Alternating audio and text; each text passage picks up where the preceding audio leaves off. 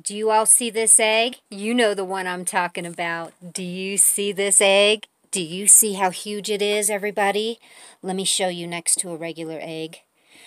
We have never gotten an egg this big. So we're going to open it up and see what's inside. Let's go. We got the butter melting in the pan. We've got the egg.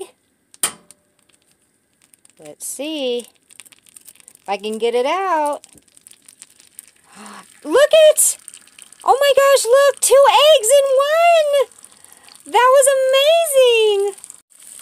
amazing! One big egg. Look at it smile at us. God bless everyone.